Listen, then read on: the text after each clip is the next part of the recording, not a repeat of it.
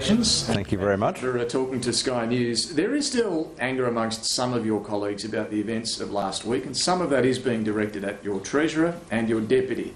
Uh, to clear the air on this, can you tell us when did you finally decide to challenge Tony Abbott, and when did you tell Julie Bishop and Scott Morrison?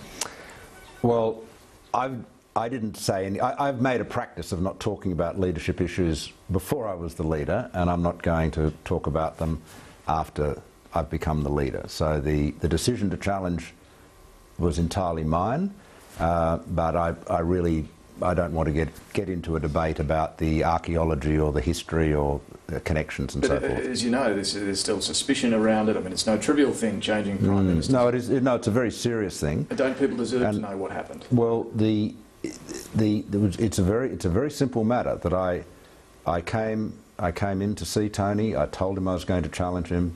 I told him why I was going to challenge him. Mm. I left his office. I spoke briefly to the media and explained that I was why I was challenging him. And then the party had a ballot. I mean, the, the leader. When, when you made the decision and when those two key figures knew about it. Well, I'm, I'm, I'm sorry, but I'm not going to uh, go into those in, in, into into the history of it. I don't think there is any purpose to be served for the government or the party by my doing so. I've always been very circumspect about issues of leadership, and I, that's for many years, as you know, much to the disappointment of sure, what, distinguished what, journalists like yourself. What do you say to uh, settle down those who are still upset? I mean, should they back off uh, in terms of Scott Morrison and Julie Bishop? Well, I, what, I, what I would say is that we've, we have got to work together as a team. Uh, there are times when tough decisions have to be taken about leadership. I know all about that. I was, I was uh, removed as leader by the party uh, some years ago in, in 2009. So I've, you know, I've been on the receiving end. Uh, the leader of the Liberal Party serves at the pleasure of the party room. Full stop. That's, that's what it's all about. It is up to the party room to make that decision. Uh, no one's entitled to be leader.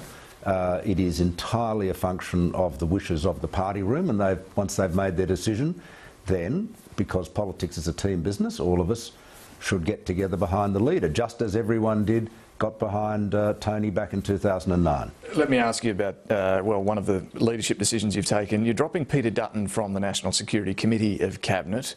Uh, immigration ministers for quite a while now have sat on that committee. Why? Well, the, the during the Howard uh, government, which I regard in terms of cabinet process as absolutely the gold standard. and you know, while this is a very modern 21st century government, and, and obviously I'm not John Howard, uh, nonetheless, John was uh, an outstanding Prime Minister. He ran a very, very solid, traditional, business-like cabinet government, and that is something I'm determined to go to restore. That's why Arthur Sinodinos is the Cabinet Secretary. We are very focused on that. Now, under the uh, Howard government, the Immigration Minister was, for most of that time, not a permanent member of the National Security Committee. Amanda Vanstone was, wasn't she? Well, at, at, at, for, for periods. But just let me be quite clear about this. Um, ministers have got to get on with their jobs, get on with their day jobs.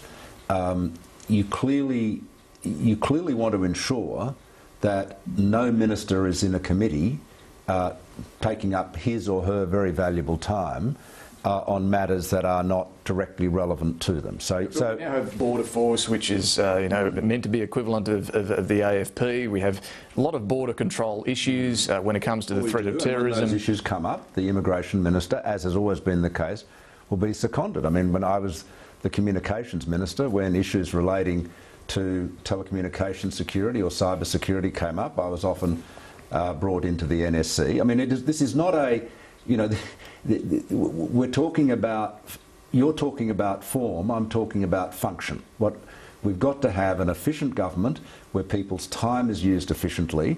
Uh, this is not an issue of status.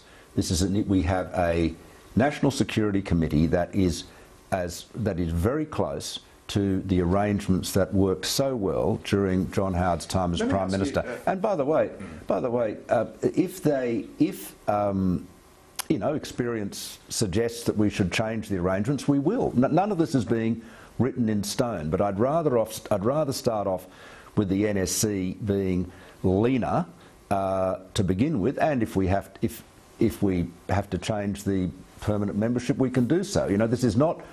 Um, you've got to understand this is a modern 20th century agile government, and we will adapt all of our arrangements as circumstances require to meet the situation. All right, let me ask you uh, another question on immigration, and this may go to some adapting as circumstances mm -hmm. present. We do have a bipartisan settlement on border protection policies now, yeah.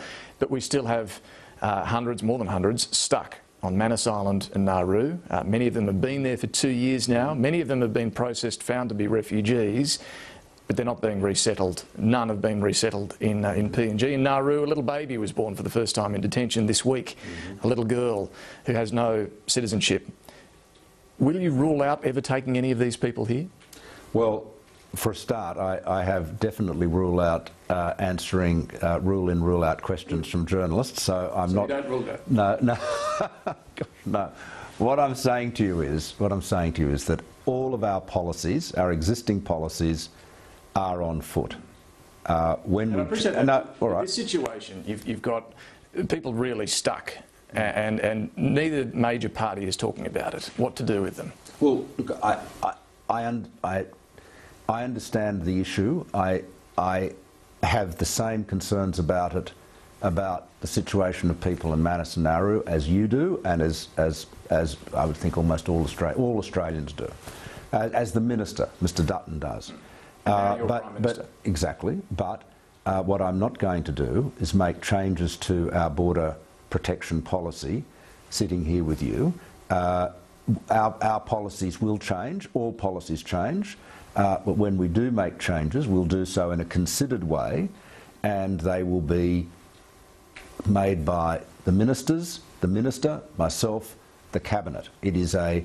Well, what I'm asking is, is, is this an area there needs to be change? Well, this is this this is an area that clearly is one that is uh, controversial, that is a challenging one. It's certainly uh, one that close attention is being paid to.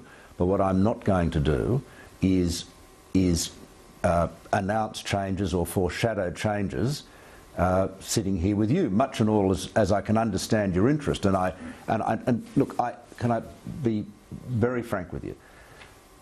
I thank you for raising it it's legitimate to raise it. It's good that you raise it, but you've got to understand that this is a cabinet government and we are not going to make, not me nor any minister, we are not going to make policy changes, particularly of the type you're talking about, on the run. We're going to, we, we will be, the, all of these matters will be considered uh, and in the event that policy changes, then we will make an appropriate announcement. I want to turn to the, the economy, and, and, again, this gets to, I suppose, at least the priorities you're going to bring as, as Prime Minister to these, these things. You did say uh, in mounting your case for the leadership change, the quote, the government is not successful in providing the economic leadership we need. When are we going to see when? I mean, I'm just asking about the timing here. Your alternative plans for the economy? Well, we, we're certainly determined to provide better or greater leadership, stronger leadership, more confident leadership. That's probably the best, the better term. More confident leadership uh, on the economy. Of course, of course, there will be new policies, and we are certainly looking at policies that will promote innovation, that will promote productivity, that will provide greater incentives to work. Uh, you know, all of those, and there are a lot of levers, and it is very complex. Uh, they're absolutely very key priorities. But you know something? Uh, we've already seen, and this is, the, this is the power of confident, positive leadership, we've already seen a significant rise in business confidence. Now, you know what that means? That means businesses are investing, they're hiring, people are getting jobs, they're making more money, they're paying more tax than they otherwise would. Business confidence has been a critical issue. If you listen to Glenn Stevens, the Reserve Bank Governor, he has been saying this for a very long time that here we are in a world where interest rates are as low as they've ever been. Uh, and yet we don't have enough business confidence to promote investment. Well, now, we have already seen a rise in business confidence because we have a, a government that is talking confidently about our future and is in, talking optimistically about our future and indicating if not the precise policies, because I've only been Prime Minister for a week, but the outcomes we seek to achieve. And it's important that people understand where we want to get to. Uh, and then, of course, we will design the policies that we hope will take us on that journey. Glenn Stevens has also been talking about the need for labour market reform for a while. I mean, one of the bits of low-hanging fruit, I suppose, is Sunday penalty rates. Mm-hmm. What's your view on that? Should they stay? Well, again, uh, I'm sorry. I'm sorry not to be able to uh, announce all of our policies on your program, but we all of these matters are under consideration. Right. But but it is it is very important that we proceed in an orderly way. And what's see, the timing then of that orderly way? Uh, are we going to see a mini budget anytime soon? Are we, you going to wait till next year's budget, or are you going to actually wait until after the next election? Well, uh, I, I'm, I don't believe in rushing things in a sort of hasty or considered way, but equally I believe you can make uh, well considered decisions quickly. Uh, so I, I, I, believe, and you, you, saw the way that I changed the, uh, the uh, strategy and direction of the NBN. That was done quickly, but it was done in a very, very well considered, well argued way, and that is certainly the way I intend to proceed as Prime Minister. But so, so will we see change this year in terms of economic policy? Well, I'm not going to put a time frame on it. What you will see is the government proceeding to uh, deliver on an economic reform agenda that will promote productivity, will promote innovation, uh, will continue to promote business confidence and investment, and will do so in an, in an orderly way, and we'll do it as, as quickly as we can. I don't believe in spinning my wheels. Is the next election still 10 or 11 months away, as you said last that, week? That is certainly what okay. that's certainly what I'm assuming, and, and you know, unless you have a better idea of what's going to happen, Far you should, assume, well, you should assume. Sounds that, like a good plan. I, uh, that's any, definitely the plan. Any plans for Senate voting reform before then? Well, there are, there are no, we have no specific plans. It's obviously an issue that uh, people have talked about. I enjoy a very good working relationship with the Senate crossbenchers. Uh, and I also have, have reached out to the leader of the Greens, uh, Richard Di Natale. Uh, so we, we want to have a good relationship. Some of them were voted, though. I mean, Ricky Muir on 0.5, half a percent. It was his primary vote. Does that concern you at all? Well, I, I, I certainly understand the the uh, the concerns about it and the the you know the, the, the issues about transparency. But the, the simple fact of the matter is, Senator Muir is a senator. He is he's, he is as democratically and constitutionally elected to this That's uh, place as, as that, I that am as the member for Wentworth. And certainly there are many uh, considerations about changing the Senate voting rules. But the, the fact is, we do not have a specific proposal, and we, but we are talking about it with all the other parties. Uh, the China Free Trade Agreement, mm -hmm. have you read it? I've, I've, certainly read summaries of it, and I've read elements of it, and I've discussed it at length with Andrew Robb, but I know I haven't read well, the, the, the whole bit that Labor's, of uh, documents. The bit that Labor's concerned about is the mm. Chapter 10 um, part of it, where it says labour market testing won't apply to a range of different groups, including uh, people with trade, technical or professional skills. Mm why shouldn't tradies be worried about that? Well, the the Labor really should have to answer why it is that exactly the same arrangements are in the Chile Free Trade Agreement. I mean, this is not. They are really singling uh, China out now. There are some differences, no, though. No, well, there are, David. There are there are some differences, but not material to the point you're raising. Now, let, let me just be clear about the China Free Trade Agreement. This is an agreement that opens up to all Australian businesses the world's largest single economy. It is an absolutely fundamental building block for our prosperity. It has the support of every Labor Premier. It has the support of past Labor leaders like Bob Hawke, like Simon Crean, like Bob Carr. Uh, it has the overwhelming endorsement of the business community. Now, what's happened is that Bill Shorten has never proposed any specific changes he has been dragged along in the slipstream of the CFMEU, which has, run, which has run an alarmist, scaremongering campaign, millions of dollars designed to frighten people back into poverty. Not disputing and, and that, but Labor is suggesting safeguard legislation to, to mm. ensure mm. that for those low-skill 457 category visas, uh, local jobs, uh, uh, jobs are offered to locals first. in the interest of getting this whole thing done quickly, why not sit down and talk about that? Well, we're obviously open to, to uh, talking to them, but uh, the, they have made no specific proposals. Now, there is legislation in the House. They could move an amendment. They could propose a substantial change or variation to Mr. Robb. I mean, Andrew is there. He is, he's the architect of this deal. He, he knows every single um, you know, comma and semicolon through the whole thing. So you're open they to talks anyway? Well, well, of course, well, of course we're, we're always open to talk. But what we've had is, you see, this is, this, look, I, I, don't want to be unduly critical of Mr Shorten. I understand his position. The Labor Party is the political wing of the union movement. I understand all that. But his problem is that the CFMEU has run an extreme scaremongering campaign designed to frighten people, which is aggressively anti-Chinese and real, absolutely contrary to our national interest, contrary to jobs. And because he has been silent, everyone assumes, the only reasonable assumption, is that he endorses it. He is just bobbing along like a cork in the slipstream of the CFMEU. And basically, you've got the CFMEU driving the Labor Party, this is the alternative government, the Labor Party's economic policy. Now, Mr Shorten can sort that out. He can say, look, I don't go along with all that extremist stuff. I've got some specific proposals. He could do that, but he hasn't, to date at any rate, had the courage to do so. And I'd encourage him to focus on that rather than rather than just being a passive um, sort of a passive uh, cork, as I said, just bobbing okay. along, uh, trailed along. You, you, you, want deeper trade ties with China, but you have been critical of their foreign policy approach in the South China Sea. Can I just ask, what's going to be your first um, port of call internationally? Will it be China? Will it be Japan? What's your priority?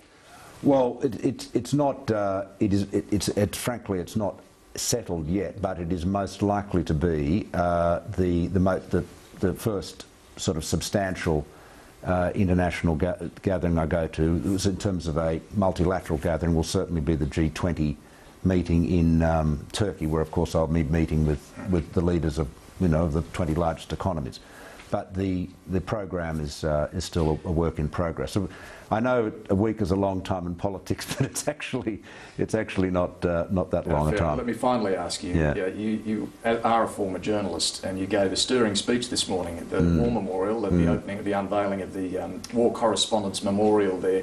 Uh, you, you, spoke about the importance of journalists speaking truth to power yes. Uh, and, and, the need for a free and courageous press. Uh, Peter Greste was there, I know you met him mm. yesterday. Uh. He's a good example of these fine traditions yeah. of journalism. Sure. Will you be pressing the Egyptian president to pardon Peter Greste, who has been convicted of a that, terrorist that offence? That, that, is, that is absolutely the government's position, and we will, we have, we will, and continue to encourage the Egyptian president uh, to do that. That is, that's certainly, that's absolutely our position. Just as I said at the War Memorial, and and you know, uh, I just repeat what I said there, David. The um, the work that you do, the work that Peter Greste does, is as important to our democracy as the work that I do. Uh, we, we, we cannot have a democracy without a free and inquiring press that, that, that challenges government and challenges vested interests. So um, when, when we're honouring war correspondents, when we're honouring the work of Peter Greste, for example, we're actually honouring ourselves, our democracy. It, it, is, it is an integral part of our democracy. People sometimes think of the media, because the media doesn't always agree with the government, uh, if you're in government sometimes you'd regret that, but just because the media and journalists don't always agree with the government doesn't mean that they're not absolutely critically important to our democracy. Just like the judiciary, just like the agencies, the security agencies and the defence forces that defend it. It's a very complex beast. You know, we have a most we have one of the most remarkable societies in the world, one of the oldest democracies, and there are a lot of parts to it. It's complex, but right at the very heart of our freedom is a free and courageous press. Prime Minister Malcolm Turnbull, thanks for talking to us. Great.